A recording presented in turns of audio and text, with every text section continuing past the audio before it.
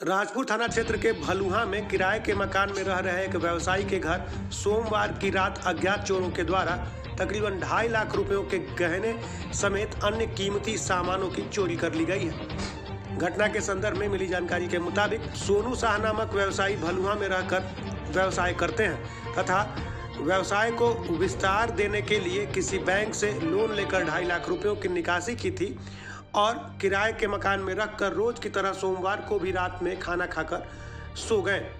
घर के सभी सदस्यों के साथ वह छत पर सोने के लिए चले गए थे। सुबह में जब वह नीचे आए तो उन्होंने देखा कि घर में सभी सामान बिखरे हुए हैं और पैसे गायब हैं। पैसों के साथ साथ घर में रखे गहने भी गायब थे। ऐसे में उनके होश ही उड़ गए।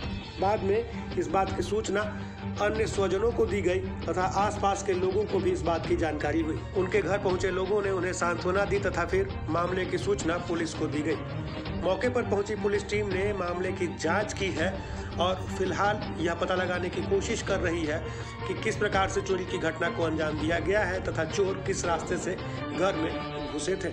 वहीं इस मामले के बाद व्यवसायी के अरमानों पर पानी फिर गया है। उनकी पत्नी का रो रो कर बुरा हाल है।